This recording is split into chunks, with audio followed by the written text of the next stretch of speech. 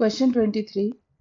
Calculate the equivalent weight of sulfur dioxide in the following reactions. The first equation is sulfur dioxide plus H2S forming sulfur and H2O.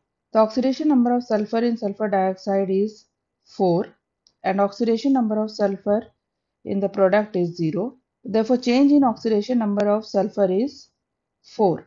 Now, one molecule of sulfur dioxide contains one atom of sulfur or we can also say that 1 mole of sulfur dioxide contains 1 mole of sulfur. Therefore, change in oxidation number per mole is 4 or the valency factor is 4. Therefore, in the equation A, the equivalent weight of sulfur dioxide is equal to molecular weight of sulfur dioxide that is 64 divided by change in oxidation number per mole that is 4 and this is equal to 16. In equation B, sulfur dioxide plus KMnO4 plus H2O forms K2SO4 plus MnSO4 plus H2SO4.